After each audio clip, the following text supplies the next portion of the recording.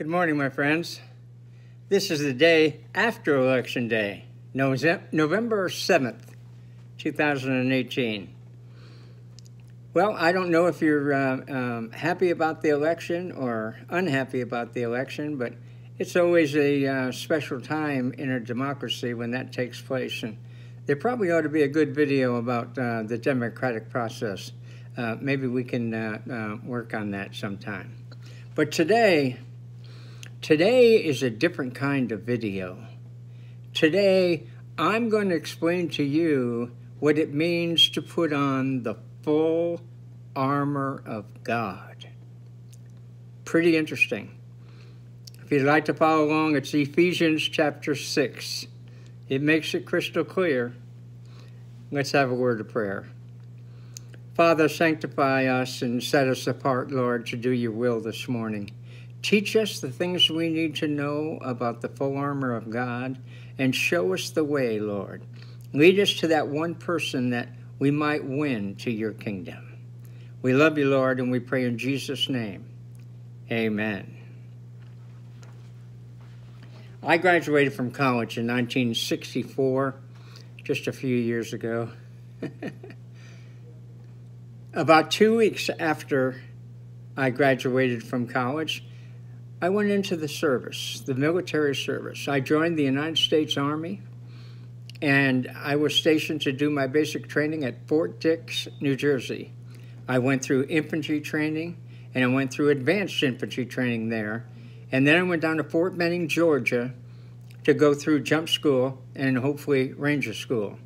Well, the Lord had other ideas about all of that, but I'll, explain it to you as we go along. I really liked being a soldier. I was a good athlete when I was uh, when I was younger, and um, it wasn't that I could that I was a great athlete, but I, I, I was well coordinated. I had good reflexes, and uh, you need that. And uh, I learned what a soldier needed to have as far as protection. Uh, you need to have good footwear. You got to be got to have warm footwear in, in some parts of the world. Uh, you, but footwear is really important.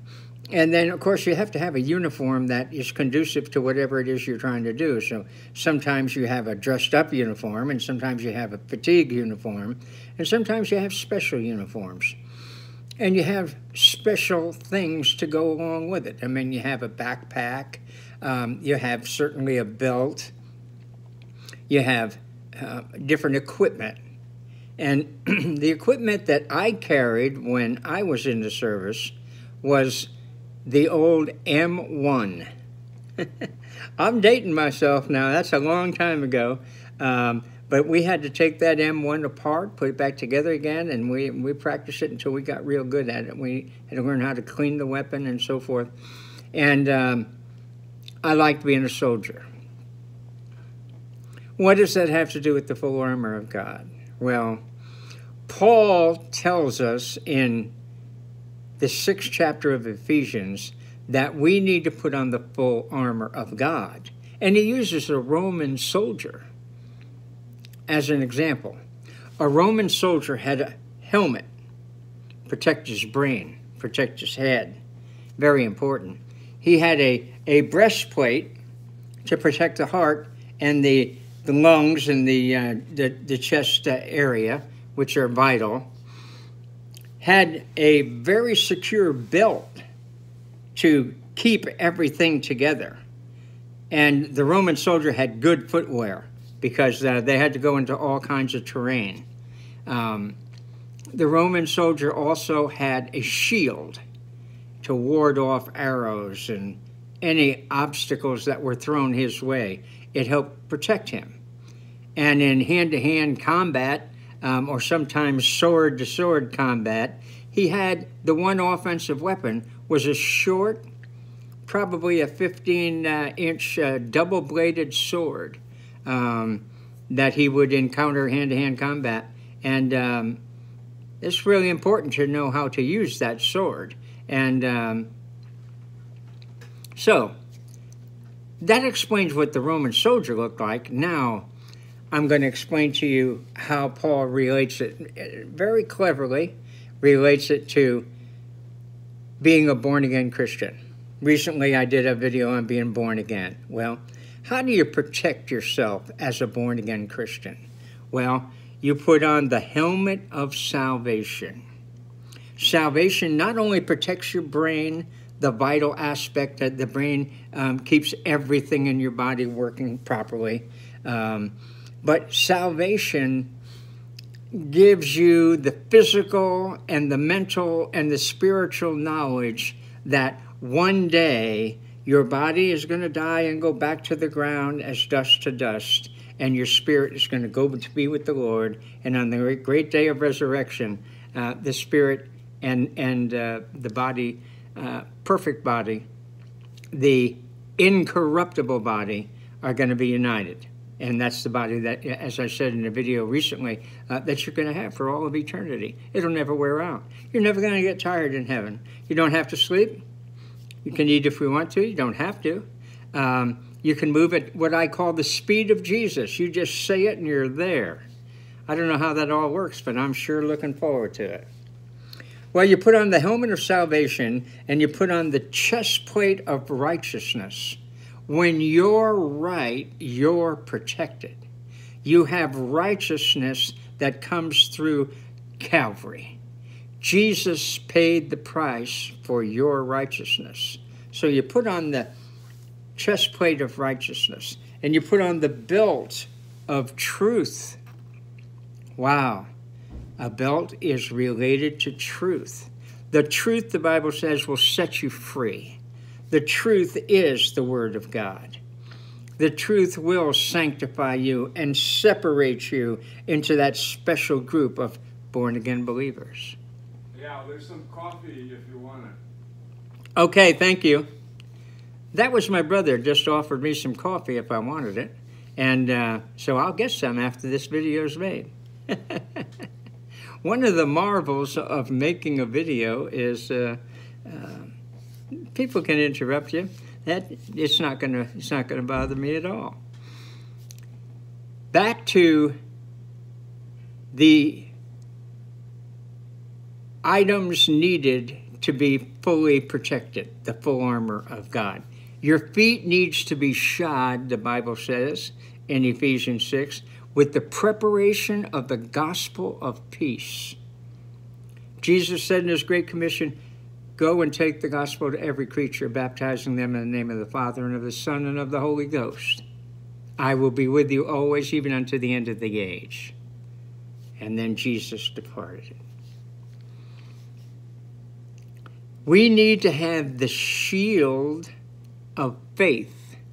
How many times have I told you that you can't please God without faith? Hebrews 11 6. Well, when you have the shield of faith, you can ward off the fiery darts of the devil because he's coming after you. He's going to come after you, he's going to come after me, and he's going to do it every day, and he's going to have demons assigned to us. And uh, um, it's a good thing that I have a, a guardian angel, or maybe more than one.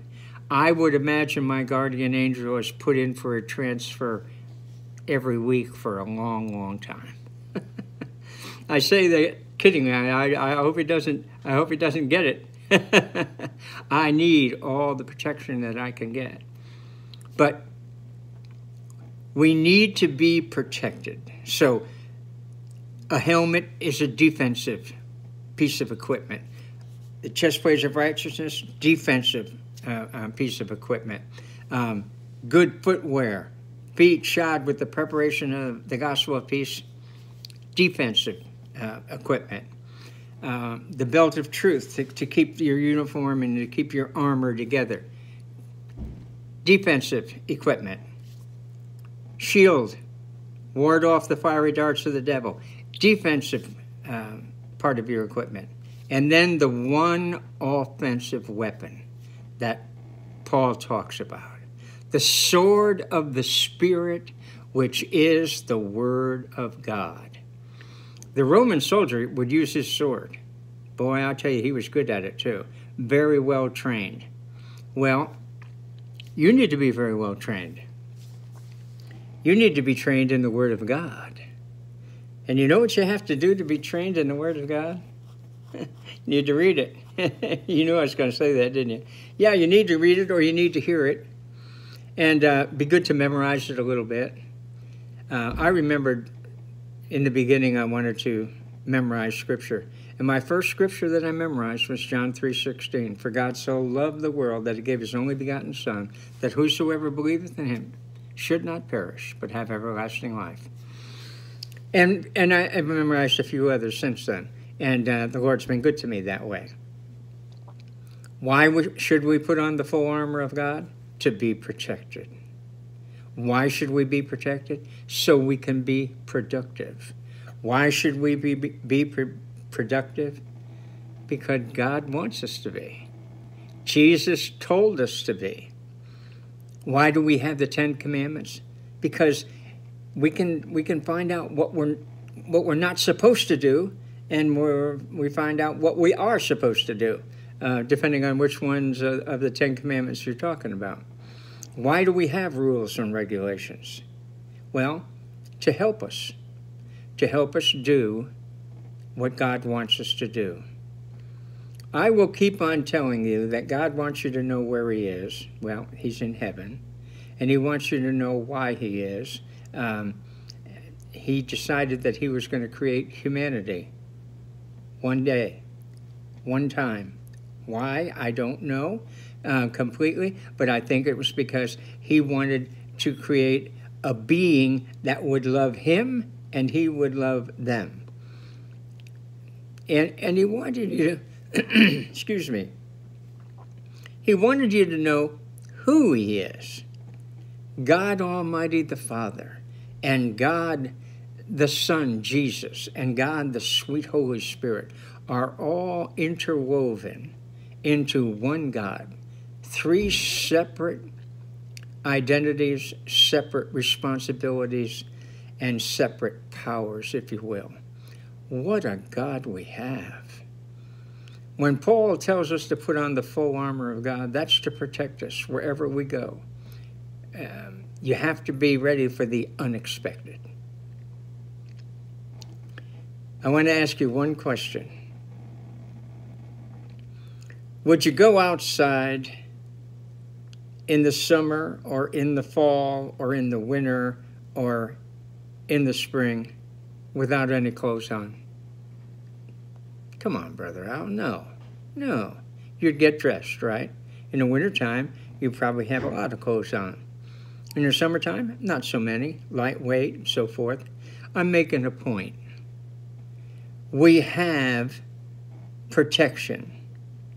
We have a need for vital protection, and that comes with the full armor of God the helmet of salvation the chest plate of righteousness, the belt of truth, feet shod with the preparation of the gospel of peace, the sword of the Spirit, which is the word of God, the shield of faith, and then one other thing that I haven't mentioned yet prayer. Pray with all supplication, pray without ceasing.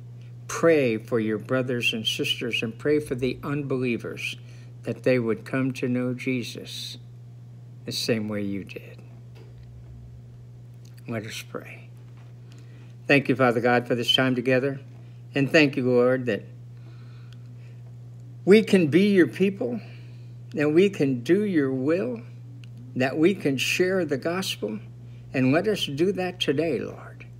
Let us bring up the conversation with whoever we might be with so that people would know that we are believers and that we share Christ with others. For it's in Jesus' name we pray. And all of God's people said, Amen. Amen. Y'all have a good day. Love you all. Bye bye.